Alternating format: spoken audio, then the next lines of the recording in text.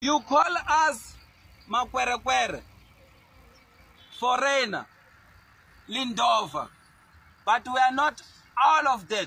We are hustlers. We are here to hustle. This thing of deporting us is a waste of time because you deport us today and we come back today. It's a waste of resources, waste of money, waste of energy. Instead of deporting us, why can't you take that money and help orphan kids? There are people who can't afford school fees in South Africa. There are kids who are suffering. Why don't you use that money to help them? Instead of feeding people in Lindela, millions of foreigners are full in Lindela, eating South African food, wasting South African money, petrol to deport them almost every day, but they keep on coming back. We keep on coming back. I was deported in 2013 and I came back at the very same day. So, this is just absurd. I don't know why you are in a foreign land uh, and you feel so entitled that you have the audacity to just come out in public and vomit nonsense. I don't know what some people smoke really. Ndiyabarespecta ngoba if kuyukuthi sifuna ukubisela nathi sonke singakhona ukubisela asiyo ukuthi siyabasaba mara siyabarespecta kodwa into abayenzayo sokusenza sigcine sikhathala ukuthi ayikho emthethweni. Ngoba if kusemthethweni kufanele kusayinwe iphepha lekhoti isayinwe siphiwe isikhathi sokuthi buyelani ngakini This issue of illegal immigrants in South Africa is getting out of hand. And it puzzles me when I see people like these ones feeling entitled that they must be in South Africa. I've never seen people who fight to be in a country where they are not needed. I've never seen people who are willing to do anything to denounce their country and just be in South Africa. Yeah, especially the ones from Zimbabwe. I'm sure this guy here is from Zimbabwe. And this is the mindset of very many Zimbabweans in South Africa. Like you are deported today, tomorrow you are back. You are just too stubborn. It means you don't follow the law. You want a lawless society. You want to do whatever you want. And this one, if this is what they are actually doing, I don't know how this issue of illegal immigration in South Africa will be solved. Five children have died in Soweto over the weekend. It is alleged that three of them became unwell after eating snacks from local spaza shops. The families are trying to come to terms with their losses. Zinigo Mhlaba joins us now live from Soweto. Zinigo, very good afternoon to you. Very concerning. Five children in one weekend. Um, we know that the issue of spaza shops and children buying snacks, especially in townships, has been one that the conversation has gone on for quite some time. Why are we not finding solutions? And what exactly happened in the township of Naledi? I don't want to speculate because I'm told that investigation is ongoing, but these spaza shops in South Africa are mostly operated by foreign nationals. So I don't know why these people feel like they can sell goods that are not fit for human consumption to our fellow brothers and sisters in South Africa. Now see what it has cost. I don't know whether South Africa has a Bureau of Standards which has to certify these goods before they are sold to the general public. Because it doesn't make sense that there are products in the market which are being sold to the general public and yet they are not fit for human consumption. Today, or rather on Sunday, it was these five kids. It happened in Soweto, in a township called Naledi. Tomorrow, it could be somewhere in Joburg, or somewhere in Pretoria, or somewhere in Durban, or somewhere else. So, if this is what these illegal immigrants go to do in South Africa, why can't they be deported? This is not xenophobic at all. I'll keep on singing this until people actually understand it. It's not xenophobia when foreign nationals who are in South Africa illegally and committing crime are deported back to their countries. How is it xenophobia? You tell me how this is xenophobic. These were just very innocent five kids. And now there are no more. My deepest condolences to the families that lost their loved ones. I, I, solutions. Solutions. Solutions. We need to change the constitution, the There's constitution of this country.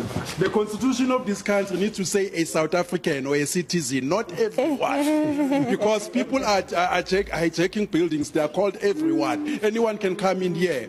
And we need civil law actions against those people who are encouraging foreigners to come to our country. And where police and soldiers are failing to protect our people from illegal foreigners, we need to sue the Department of Foreign Affairs, the Department of Defense, the Department of Police in, uh, for damages. Yeah, those okay. victims. Before- You've been killed, your family is killed by foreigners. We need to sue the Okay, government. so we must foreign people, and this is an aspect that, that is being neglected whenever people talk about foreigners.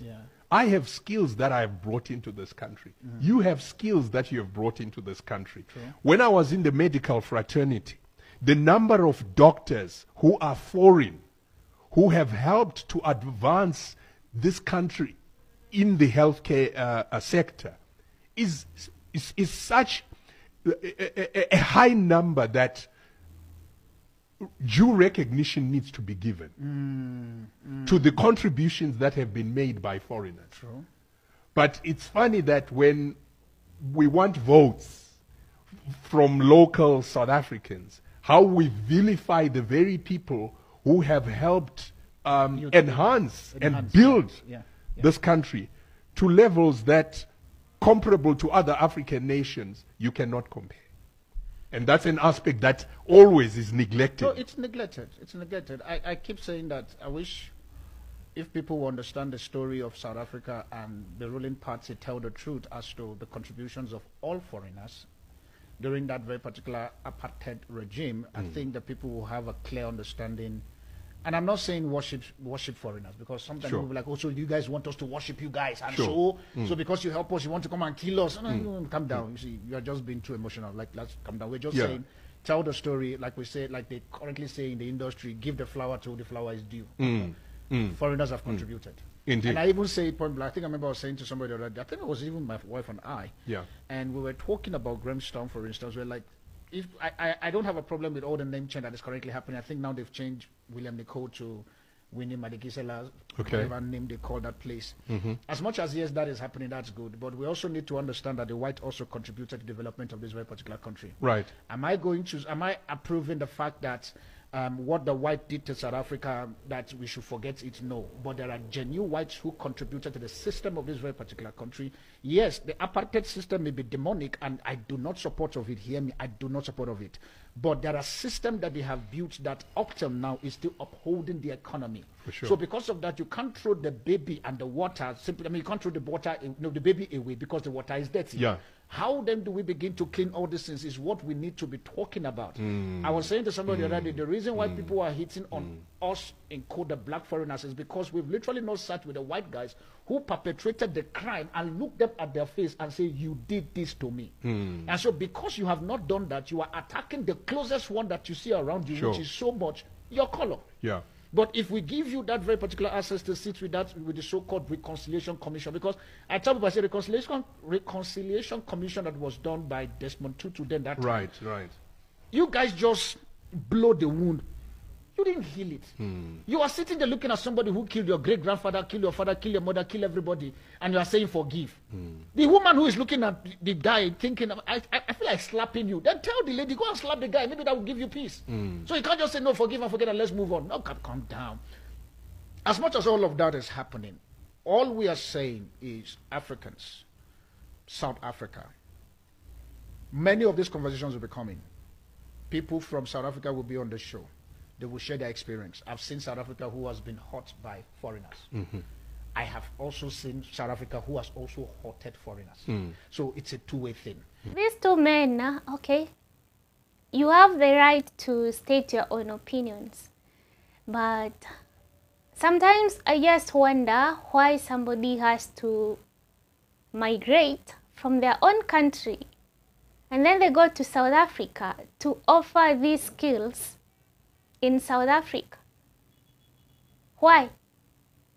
And you'll find that there is a shortage of maybe doctors in uh, these foreigners' countries. You'll find that there is a shortage of teachers. There is a shortage of uh, skilled laborers. But they're not willing to stay in their home countries and develop their own countries. They just want to run away. Like they don't want to be associated with their roots or their homeland. They just want to be in South Africa. I mean, South Africa is so special that people are willing to do anything for South Africa. Can't you just stay home because you've been trained in your home country to later on offer service in your own country? But you're there encouraging brain drain and you're very proud of it that you know we are bringing skills, we are doing what? There is nothing you are doing as long as your country is still backward and you are there in South Africa feeling entitled that you have to be there. Another thing they stated is about uh, black South Africans turning against black Africans who are illegal immigrants. That they should turn against the white people. What I don't actually understand is that South Africa is a rainbow nation. There are white South Africans there. There are Indians there who are South Africans. So you want black South Africans to turn against their fellow citizens. These are people who are there legally. They were born there. And you want black South Africans to chase them away. I don't know how some people think. If I say they're racist, I don't know how they'll take it. If we look back, if we trace our history, um, Zimbabweans, Malawians were coming here to mine to build Johannesburg. This is the Johannesburg that now South Africans feels like it's ours, but it was built on the sweat of migrants. We have seen, uh, when I came into South Africa, that was 2002, uh, Midrand was not built the way it was built. If you check who was working in the, in the, in the construction industry, it was mig- migrants that were coming from another country. Right now, South Africa is now built it's now uh, like um, everyone now is attracted to South Africa because it's now it's now well built. Now we are sitting here and say these people must go home, but we forget what they contributed to the to the society. Look at the taxi industry right now. Right. We want to be like to go back to the ground. If you look at the taxi industry right now, how many billions is it contributing to South Africa? And look at it right now. A South African lives in Soweto, they live in, in, in, in townships, in locations, right? They use buses to go to work. Yeah. Who is going to those taxes that is oh, that is bringing in billions in South Africa? So you're saying that it's, it's the migrants that work there. Uh, it's- Uh, Can I ask okay. you, so you're saying that South Africa was built by, you know, migrants that were working in the farm. Were this documented or undocumented? Just just from your point of view, uh, back in the days, during those times when they're coming into uh, build their mines, in your perspective, uh, during those control, you know, times? Without knowing that uh, the migrants were, were, were documented by then, I don't have that. Uh, don't have that information. I don't have that information. And my sister here says that South Africa was built by migrants or immigrants. Fine, you build South Africa, right?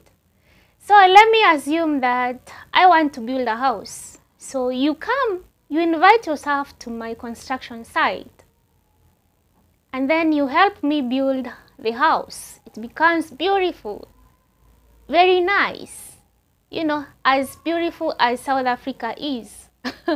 and then later on, you demand by force that you have to stay in my house just because you helped me build it.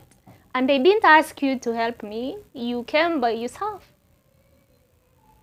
And now you feel so entitled that you must have a share of whatever I have because you helped. Yes, you helped.